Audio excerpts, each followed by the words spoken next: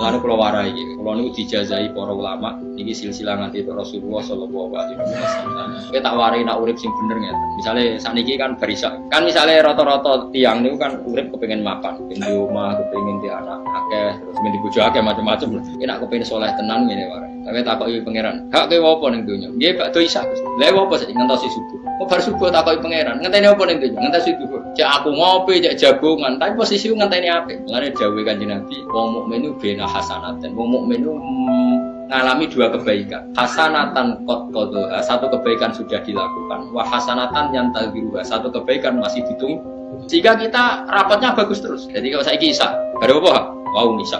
Lah terus apa? Dengan tasi subuh. Ya berhubung suwi kalau tak tasi itu. Nah, yang penting kan ngenteni. Jadi orientasi kita ini kebaikan-kebaikan. Orang yang orientasinya ke Allah dan Rasul ya pikirannya Allah dan